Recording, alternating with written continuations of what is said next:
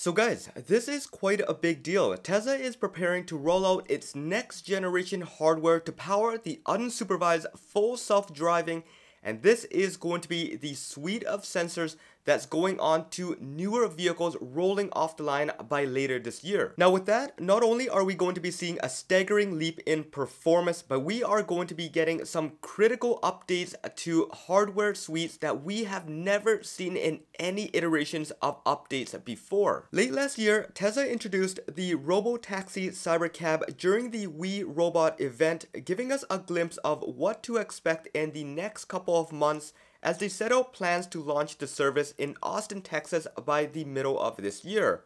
Around the same time frame, Elon confirmed that Hardware 5 is in its final development stages with mass production set to begin in early 2026. Later in the same month, sightings of refresh Model 3s began featuring updated cameras placed in newer positions marking the first glimpse of Tesla's next generation suite of sensors. During the early stages, a few vehicles were seen parked at supercharging stations, driving on the highway, and throughout city streets, all completely uncovered, leaving many questions as to what they are really working on. Sitting at the supercharging station, at first glance, it was quite clear that the sensors were not integrated into the car while engineers were testing what the functions are and the camera's positioning had been adjusted to fit various shapes and sizes as well as the body type and style of the upcoming models. Along with the updated angles and positioning, there was also the front bumper camera to have been noticed,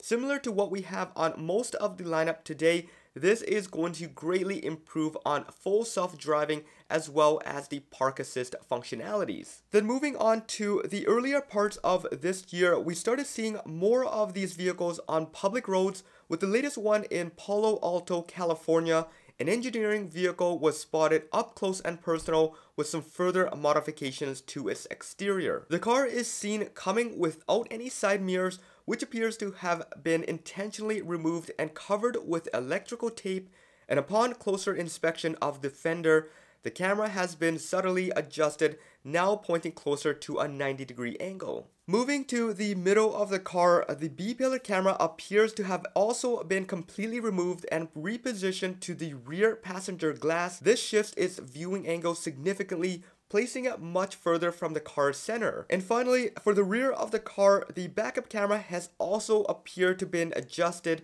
now positioned much higher and aimed more towards the ground. Now, ever since the Palo Alto sighting up until now, that was the very last time we saw any prototype Model 3s with the new sensors driving on public roads and a lot of us are thinking that this might just be in preparation for the We Robot event for the Robotaxi launch and all of these sensors here are made specifically just for that car. Now, honestly, that might have been the case, but at this point, that's no longer true as we've started seeing a ton more of them being tested and this means that a lot of vehicles that are testing for are also going to get the new upgraded hardware 5 sensor suite and this is where the start of this new transition begins. And luckily for us, it looks like all of that has just begun with the latest sighting over this weekend showing us and revealing a ton more things that we have been waiting to see. As we approach the production of Hardware 5, we are seeing much more refined versions of the setup which are now better integrated into the latest engineering vehicles spotted by a user on Reddit that goes by Ready Medium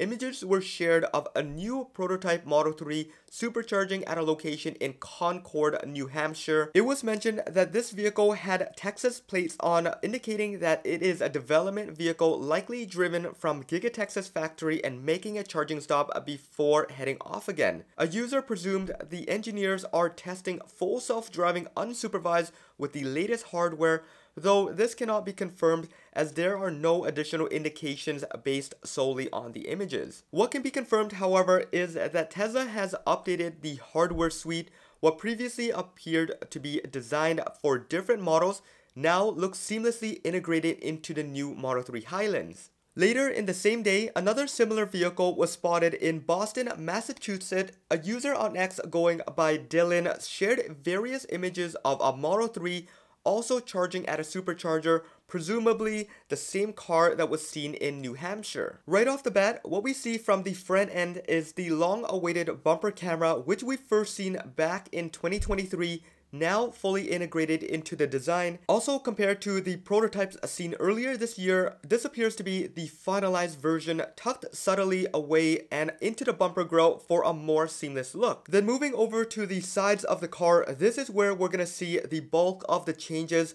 The fender camera has probably seen the most updates going from a smaller sensor that points further back to one that is more larger and points 90 degree outwards, then this update further enhances the design by including what appears to be a larger housing similar to that of the Model S. Then moving on to the B-pillar camera, there has been slight modifications to its covering. It is now positioned behind a perfectly fitted plastic mold with a cutout designed for the cameras to see through. One surprising aspect of this version is that Tesla decided to reintroduce the original B-pillar camera Looking closely, it appears that both sensors are present and active, indicating that Tesla is no longer shifting the pillar module back and it is instead adding a dedicated sensor just for the rear view. Then finally, for the biggest upgrade of it all, a completely new group of sensors has been fully integrated into a single housing spotted at the front windshield of the car. Looking closely from an angle, you can see an identical housing next to the one that we are familiar with However, this one appears to have some new components, including what looks to be three additional cameras. Although we can't say for sure that what we're looking at is definitely hardware 5, we can say that this is entirely new and something that we have never seen on any vehicles before. Alright, so there we have it guys. I don't know what to think of the new sensors that are seen on these newer prototype vehicles. I don't even know if they're the exact same vehicle as we've seen in the prior months, but they are definitely hosting a bunch of new sensors and either they're going on to the Cybercab or they're going to go on to the next generation vehicles. This is where all the new placements are going to be. But one thing that is very clear and what we can see directly from these images and excluding the rear of the car just because we don't have any images of that yet is the fact that there is going to be at least six additional cameras on the car, two for the B-pillar camera, three for the front facing windshield camera, and then one at the bottom grill for the front bumper camera. This is going to be a massive leap in not just the performance of the FSD computer, but this is going to be one that is going to give it so much more viewing angle from all different scenarios from the outside of the car. Now, I would say that the likelihood of this being for the Cybercab is still extremely high, but the likelihood for it being on every other model is going to be much higher than that just because they are preparing for the mass production of this chip and this upgrade in early 2026 and it's going to go on practically every single vehicle that they are going to make by later this year moving forward.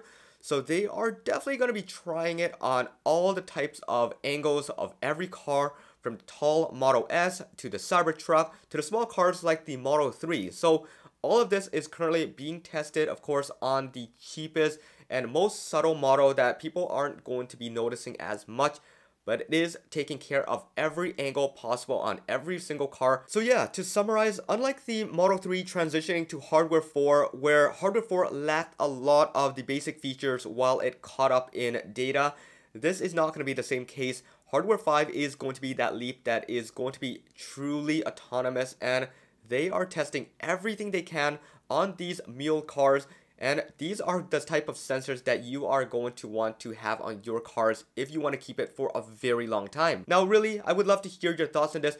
Would you rather wait for a new Model Y Juniper and wait for hardware 5, wait for the V2 manifold to come out, wait for all the nicest upgrade. You get all of them by early next year or are you going to pick one up now and eventually see what's to come before deciding to upgrade? I would love to hear your thoughts on that because I'm in the same spot right now as we speak. Anyways, as always, I'm going to be keeping an eye out for everything that comes out and updating you as quickly as possible. So I'd love it if you guys stick around, hit that subscribe and that bell notification if you haven't already done so, and follow me on X at HeyJohnEe over there, you guys will see things you wouldn't see over here, and you guys can chat with me over there, and I'll respond as quickly as possible.